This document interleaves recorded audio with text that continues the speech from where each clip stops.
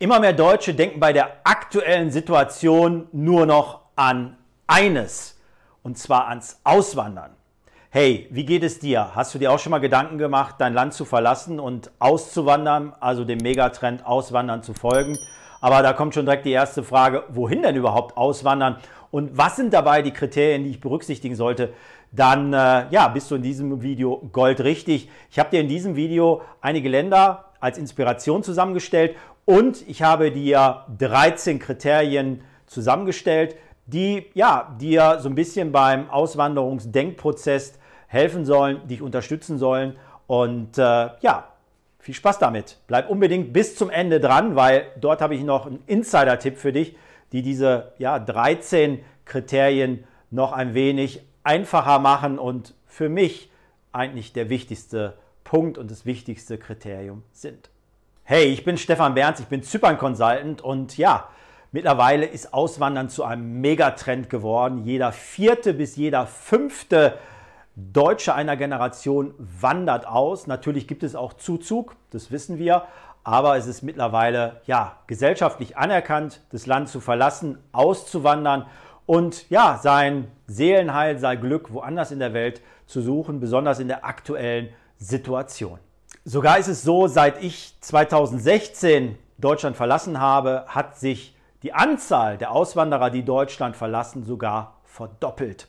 Und ja, ich lese dort nicht irgendwelche schlauen Statistiken, weil du weißt selbst, trau nur einer Statistik, die du selbst äh, geh, also selbst erstellt hast. Ich will das andere Wort gar nicht verwenden. Du weißt, was ich meine. Äh, sondern ich habe tagtäglich mit Klienten zu tun und äh, die berichten mir ihr Feedback und äh, gerade Sommer, Spätsommer 22, also dieses Jahr, äh, war es so, dass äh, Unternehmer mir gesagt haben, hey, wir wollten von unserem Hausstand einiges an die Caritas, ans örtliche Caritas-Haus geben in Süddeutschland. Und äh, die haben dankend abgewogen, die haben gesagt, hey, wir sind proppenvoll, wir haben keinen Platz mehr bis unter den Dachboden, wir wissen nicht wohin mit dem äh, Hausstand, ja, weil so viele Menschen auswandern. Und das ist die aktuelle Situation 2022. Ja, welche Länder sind denn überhaupt beliebt? Wo ist es sinnvoll, sich näher mit zu beschäftigen? Und äh, wo kann man hin auswandern? Weil viele Länder kommen gar nicht in die nähere Wahl. Ich habe dir hier ähm, ohne ähm, Anspruch auf Vollständigkeit mal einige Länder zur Inspiration zusammengestellt und äh, vielleicht hast du das eine oder andere Land auch schon mal selbst für dich in die nähere Wahl gezogen und äh, ja, gibt dir auch hier weitere Ideen nochmal. Also, Land Nummer eins Dubai oder die Vereinigten Arabischen Emirate. Dubai ist ja eine Stadt und äh, ein Emirat zugleich. Und äh, es gibt aber noch viel, viel mehr Emirate, also deshalb Vereinigte Arabische Emirate. Ähm, das hat natürlich steuerliche Vorteile. Ja, du darfst aber auch bedenken, dass du dort in der Wüste bist. Das heißt, du lebst ja, zwischen äh, neun bis zehn Monate vollkommen klimatisiert, ähm, hast sehr, sehr heiße äh, klimatische Bedingungen dort, äh, Temperaturen permanent über 40 Grad, im Sommer teilweise bis zu 50 Grad. Das wird sich in den nächsten Jahren auch noch weiter dorthin entwickeln. Also die äh, gibt es eine Untersuchung, ähm, wie gerade in diesen Wüstenstaaten sich die Temperaturen entwickeln. Also das unbedingt im Hinterkopf auch behalten. Aber es ist natürlich eine faszinierende äh, Region, passiert eine ganze Menge, hohe Innovationsfähigkeit. Aber jetzt sind wir schon bei den Kriterien, da will ich gar nicht zu tief jetzt reingehen. Land Nummer zwei, die Schweiz, gerade bei Deutschen schon immer beliebt durch die ja, Nachbarschaft, durch die Nähe. Ich bin schnell in äh, wenigen Autostunden äh, wieder in der Heimat bei Freunden, Bekannten oder Eltern, kann die besuchen. Steuerliche Situation und auch eine gewisse Neutralität der Schweiz ist gegeben. Wobei auch hier in den letzten Jahren ja, gewisse Dinge äh, sichtbar wurden oder werden. Äh, und äh, wie gesagt, es gibt immer mehrere Kriterien, wie man ein Land betrachten sollte. Äh, wenn man eine Auswanderungsentscheidung äh, trifft. Deshalb werden wir auch später die Kriterien uns anschauen. Deshalb hier nicht zu sehr in die Tiefe. Spanien und deren Insel, ja, Spanien ist ein wunderschönes Land, ähm, dort die Balearen oder auch äh, die Kanaren, ähm, bei Deutschen seit Jahrzehnten beliebtes Urlaubsland und natürlich auch ein Auswanderungsland. Ähm, das Nachbarland Portugal ist auch bei sehr, sehr vielen hoch im Kurs. Ich kenne viele, die dorthin gegangen sind, dort leben. Ähm, sehr hoher Lebensstandard, schöne Natur, ähnlich wie bei Spanien auch. Dann Mexiko, gerade in den letzten zweieinhalb Jahren durch die C-Situation sehr, sehr beliebt und äh, ganz, ganz weit nach oben bei den Auswandererländern. Aber auch hier zu berücksichtigen, andere Kultur, anderer Kulturkreis, andere Zeitzone, äh, sprachliche Barrieren, äh, die eventuell hier zu berücksichtigen sind. Dann in den letzten drei, vier, fünf Jahren war immer wieder Georgien ein Thema für viele. Ähm, hier konnten wir beobachten, dass äh, ja, die äh, steuerliche Situation mal eben geändert worden ist von der äh, politischen Führung. Ähm, dort sollten Unternehmer dann auf einmal Nachzahlungen leisten. Also ja, auch hier die geografische Lage ähm, zu berücksichtigen. Da hat sich ja in den letzten Monaten einiges geändert und äh, das muss man auf jeden Fall auf dem Schirm haben. Schweden, viele ist äh, ja, Schweden oder auch Dänemark äh, sehr, sehr beliebt die gerne halt, sage ich mal, in kühlere Regionen gehen möchten und äh, einmal noch die Nähe auch zu Deutschland haben. Dann Paraguay.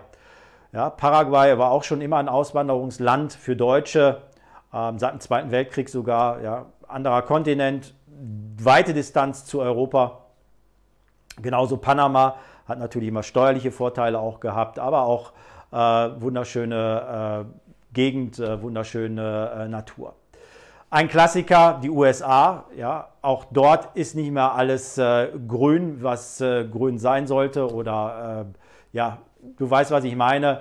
Ähm, die USA, vor allen Dingen in den letzten zwei Jahren, haben sich massiv äh, zum Schlechteren verändert. Und äh, ja, natürlich kommt man dort auch nur rein mit einem entsprechenden, äh, mit einer entsprechenden Green Card, Aufenthaltsgenehmigung, Visum. Ähm, und äh, das sollte man sich also auch genau anschauen, ob die USA immer noch das Land der unbegrenzten Möglichkeiten ist und äh, der Träume auch letztendlich ist. Und ja, last but not least, mein Traumland natürlich, ähm, Zypern. Ja, gerade in den letzten sechs Jahren, seit ich hier lebe, haben viele tausend Familien, Menschen Zypern als ihr Heimatland erkoren. Und warum das so ist, da werden wir ein ganz eigenes Video drüber machen. Ähm, das sollte dir jetzt erstmal einen kleinen Überblick geben zu den unterschiedlichen Ländern, die möglich sind. Vielleicht hast du den, das ein oder andere Land schon auf dem Schirm gehabt ähm, oder auch ein neues jetzt nochmal für dich entdeckt. Hier nun die Kriterien. Kriterium Nummer eins, die politische Stabilität des Landes, wo du hin auswanderst. Also wie groß ist meine persönliche Freiheit und Sicherheit? Ja, Thema Inflationsschutz, aber auch Kriminalitätsrate. Rechtsstaatlichkeit, Korruption. Ja, das sind alles Themen, wo man mal einen Gedanken drüber verlieren sollte. Die unternehmerische Freiheit, ja, wenn du Unternehmer bist, aber auch Arbeitsfreiheit, wenn du Angestellter bist, religiöse Freiheit, ja, Thema äh, arabische äh, Länder, ja, wenn du nach äh, in die äh, Vereinigten Arabischen Emirate auswanderst, ja, dort ist ein anderer Umgang, ja, ich sag mal mit äh, Zärtlichkeit im öffentlichen Raum. Ja, so weiß von Freunden zum Beispiel, die äh, ja einfach spazieren gegangen sind und mal äh, die Hand äh, bei ihrer Partnerin aufs Gesäß gelegt haben und das wurde schon direkt geahndet. Ja, gehst du zum Beispiel nach Saudi-Arabien, haben wir noch mal ganz andere Restriktionen. Ja, nicht umsonst sagt man andere Länder, andere Sitten. Also denkt da auch bitte drüber nach, wie ist die Situation in den entsprechenden Ländern.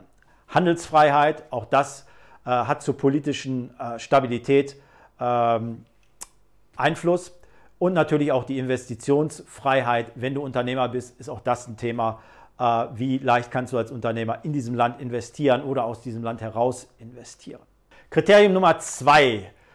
Die steuerliche Situation, die betrifft uns natürlich alle, ob ich jetzt Unternehmer bin, ob ich Angestellter bin oder ob ich Freiberufler bin oder vielleicht sogar auch äh, Privatier, Rentner. Also wie ist die steuerliche Situation in dem entsprechenden Land? Einkommensteuer, Körperschafts- und Vermögensteuer, da solltest du darüber Bescheid wissen. Kriterium Nummer drei, die Sprachbarriere. Kommst du also mit dem aktuellen Sprachschatz, mit den aktuellen Sprachkenntnissen in dem entsprechenden Land, wo du hin auswanderst, äh, zum Beispiel klar? Ja, also für mich war zum Beispiel ein Land, äh, wo ich nicht mit Englisch äh, klarkomme, keine Option. Ja, und das ist für mich zum Beispiel in Zypern ein ja, Top-Kriterium Nummer eins, dass ich hier wunderbar äh, mit, mit Englisch klarkomme und noch nicht mal Griechisch lernen muss. Ähm, ja, und das solltest du unbedingt berücksichtigen. Also, welche Sprache wird dort gesprochen? Ja, wie weit ist Englisch verbreitet? Oder gibt es vielleicht sogar eine große deutschsprachige Community, die dir auch vielleicht sogar schon hilft und äh, dort auch entsprechend dich unterstützen kann? Kriterium Nummer 4, die klimatischen Bedingungen. Sprich, lieber Sonne, Strand und Meer oder Berge. Es soll ja Menschen geben, die mögen gar keinen Strand oder ja, Sonne und Meer. Kann ich bis heute nicht verstehen. Also die zieht es mehr in die Berge. Manche wollen beides haben. Ja, so manche mögen es lieber kühler. Die gehen dann mehr, ich sag mal, in die nördlichen Breitengrade. Äh, manche fühlen sich unglaublich wohl in subtropischen äh, Gefilden. Ja, so das ist also ganz, ganz individuell. Sollte es aber auf jeden Fall auf dem Schirm haben, ähm, weil das äh, Wetter oder das Klima, wissen wir alle, verändert sich ja in allen Regionen und äh, dort auch mal mit Menschen, die dort leben, entsprechend sprechen, ist auf jeden Fall ein entscheidender Vorteil für dich. Kriterium Nummer 5, Zivilisierungsgrad. Was ist damit gemeint? Ja, also wie entwickelt sich das Land in Bezug auf Kultur, Ausbildung, Innovation und Entertainment? Ja, Kultur welches Kulturangebot gibt es dort? Ja, wird dort Kultur gepflegt? Hat das Land eine reichhaltige Kultur? Äh, in den meisten Ländern ist das tatsächlich der Fall. Also auch dort äh, hat man dann entsprechend ja, ein entsprechendes Angebot. Dann die Ausbildung. Gibt es internationale Schulen, Kindergärten? Können meine Kinder dort ein internationales Abitur machen oder auch ein Studium machen?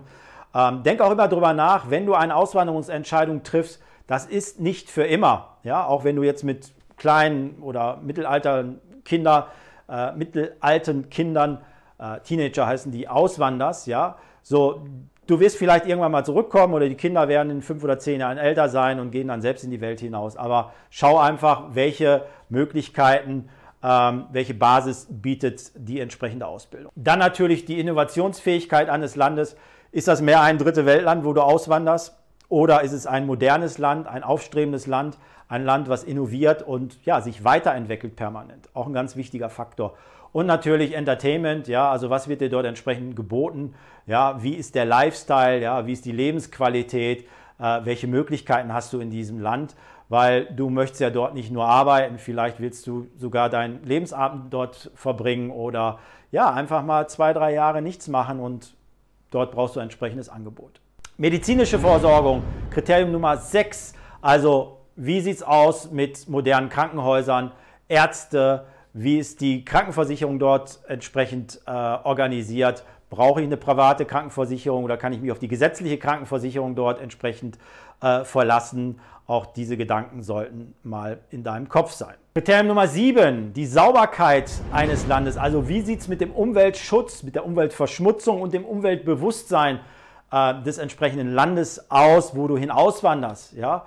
So, ähm, es gibt Länder, die haben wundervolle Natur, aber überhaupt kein Umweltbewusstsein. Dort ist es komplett vermüllt, verdreckt. Also ich habe immer wieder Freunde, Bekannte, die mir das aus Indien äh, erzählt haben. In Indien war ich selbst schon, sondern Indonesien, ja, oder aus asiatischen Ländern, Philippinen zum Beispiel, ja. So, ähm, und das ist natürlich traurig, wenn du eine wundervolle Natur hast, ein Paradies hast, aber trotz alledem die Einheimischen vor allen Dingen dann kein Bewusstsein haben äh, und es entsprechend ja, verdrecken, vermüllen, dieses Land, äh, ist auch nicht so toll.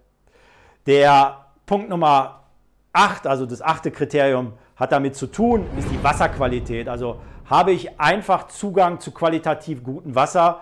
Ja, Wasser ist äh, ein entscheidender Faktor für Lebensqualität und auch der sollte unbedingt berücksichtigt werden. Kriterium Nummer 9, Erreichbarkeit und geografische Lage. Schweiz zum Beispiel ist sehr beliebt, weil du schnell in wenigen Autofahrstunden in Deutschland wieder bist, ja, oder auch ringsherum. Ja, und äh, das solltest du also auch auf dem Schirm haben. Bin ich in einer komplett anderen Zeitzone, ja, muss ich erst Tage äh, fliegen oder, oder 10, 12 Stunden, bis ich zu Hause bin. Ja, wie schnell kann ich mit einem Direktflug oder mit einer Autofahrt nach Deutschland gelangen? Das sollte deine Frage entsprechend sein. Andere Zeitzone, anderer Kontinent, anderer Kulturkreis ist es das, was du willst oder brauchst du entsprechende Nähe? Kriterium Nummer 10, die Aufenthaltspflicht. Also wie viele Tage muss ich mich in dem Land aufhalten, um die steuerlichen Vorteile in Anspruch nehmen zu können, sprich dort auch entsprechend Tax-Resident zu sein in dem Land. Auch das sind ganz, ganz fundamentale Dinge, die du klären solltest für dich. Dann die Lebenshaltungskosten. Ja, was ist das Preis-Leistungs-Verhältnis im Vergleich zum Heimatland? Ist es signifikant höher oder vielleicht sogar niedriger. Ja? Beispiel, wenn du in die Schweiz gehst, rechne mal locker 20 bis 30 Prozent mehr Lebenshaltungskosten ein. Gehst du in die Türkei, dann wird es aktuell 30 bis 50 Prozent günstiger sein durch den Verfall der Lira und die hohe Inflation, äh, die wir dort haben. Ja. So, das sind äh, Dinge, die sich natürlich auch verändern, aber die gerade aktuell auch berücksichtigt werden dürfen. Kriterium Nummer 12. Mentalität und Kultur. Wie werde ich in dem entsprechenden Land äh, ja, willkommen geheißen? Wie schnell und wie einfach kann ich mich die, dort integrieren? Auch wieder Sprachkenntnisse, Sprachbarrieren. Und äh, ja, was ist das überhaupt für eine Kultur? Ja, ist es eine weltoffene Kultur? Ähm, oder ja, wie werden dort Europäer, wie werden Deutsche entsprechend dort willkommen geheißen? Ähm, auch da würde ich mir vielleicht den einen oder anderen Gedanken mal drüber machen. Kriterium Nummer 13, Visumaufenthaltsgenehmigung. Mach dir Gedanken und informier dich, was sind die Bedingungen, um in das entsprechende Land einzuwandern. Also was für ein Visum brauche ich, was für eine Investition brauche ich. Ja, zum Beispiel Investitionsvisum oder Green Card USA muss ich ja erst eine Immobilie erwerben, um dort entsprechend ähm, sesshaft zu werden. Das sind alles Überlegungen, die sollte man im Vorfeld auch schon anstellen. So, das waren nun eine ganze Menge rationale, analytische Kriterien, die alle ihre Berechtigung haben, aus meiner Sicht heraus ganz wichtig sind, sich dort mal Gedanken zu machen. Aber ich möchte jetzt, wie versprochen, zum Schluss ja noch einen Insider-Tipp auf den Weg geben. Und das ist auch, wie gesagt, aus der Praxiserfahrung heraus. Wir haben immer wieder ähm, Leute, immer wieder Klienten, die nach Zypern auswandern, die sagen, Stefan, ich war noch nie auf Zypern, ja aber ich, ich habe einfach eine Verbindung zu, zu diesem Land. Ich habe eine Intuition zu diesem Land und das Land ruft mich. Und das kann natürlich in anderen Ländern genauso sein. Und wenn du dieses Gefühl hast, ja, und das hat jetzt nichts mit dem Kopf zu tun, sondern mit ganz anderen Kriterien, dann folg diesem Gefühl, ja. So, setz dich einfach ins Auto, buch deinen Flug, guck dir dieses Land an und schau, kriegst du dieses Feeling, ja, kannst du dir vorstellen, dort zu Hause zu sein, kannst du dir vorstellen, dort die nächsten Jahre deines Lebens zu verbringen ja, und wie gesagt, mach dich da frei, nimm den Druck raus. Es muss nicht für immer sein. Es kann für immer sein. Viele sagen, okay, ich werde mein Lebensabend dort vollbringen, aber hör auf deine Intuition und dann einfach go, wenn du den Ruf hast, ja, setz dich in den Flieger und schau dir das Land entsprechend an. Also nach meiner Erfahrung werden die meisten Auswanderungsentscheidungen emotional getroffen, weil wir sind emotionale Menschen, wir sind emotionale Wesen und natürlich spielen die ganzen rationellen äh, Punkte eine Rolle und dürfen auch berücksichtigt werden, aber letztendlich brauchst du dieses Gefühl, du musst das Feeling haben, sagen, ja, hier fühle ich mich zu Hause, ja, und daraus entwickelt sich dann die Vorfreude und ja, dann geht auch alles weitere im Auswanderungsprozess viel, viel einfacher, als wenn du nur mit Fragen, Ängsten und Bedenken, ja, dir die ganze Zeit den Kopf zermarterst. Das ist nicht wirklich die Energie, die du brauchst beim Auswandern. So, wie sieht es aus mit dir? Hast du schon dein persönliches Auswanderungslieblingsland schon definiert? Vielleicht dir schon sogar schon angeschaut? Also bist du dort schon mal ein, zwei Wochen gewesen? Hast vielleicht sogar Probewohnung mal gemacht für mehrere Monate? Ja, was sind deine persönlich wichtigsten Kriterien? Ähm, schreib mir die gerne mal unter dem Video in den Kommentaren. Ich bin absolut gespannt drauf. Vielleicht habe ich ja sogar ein Kriterium auch vergessen, was du sagst, hey, das ist absolut wichtig, wo man dran denken sollte. Und äh, ja, freue mich auf deinen Kommentar. Abonniere den Kanal, wenn dir das Video gefallen hat. Teile es gerne auch mit deinen Freunden, wenn du es hilfreich findest und die vielleicht sogar auch schon am Sprung sind und ja, ihr euch beim letzten Stammtisch über das Auswandern unterhalten habt, dann sind die da sicherlich äh, sehr dankbar, wenn sie die ein oder andere Inspiration bekommen. Bist du jetzt auch schon ganz heiß aufs Auswandern und kannst es gar nicht abwarten? Dann schau dir unbedingt mein letztes Video an, die Top 3 Fehler der meisten Menschen beim Auswandern und vor allen Dingen, wie du sie vermeidest. Ja, du findest den Link hier oben im Video. Einfach draufklicken und äh, hast dort viele spannende Tipps drin. Ja, ich freue mich auf dich beim nächsten Video und hoffe, du hast eine ganze Menge Inspiration hier in diesem Video erhalten.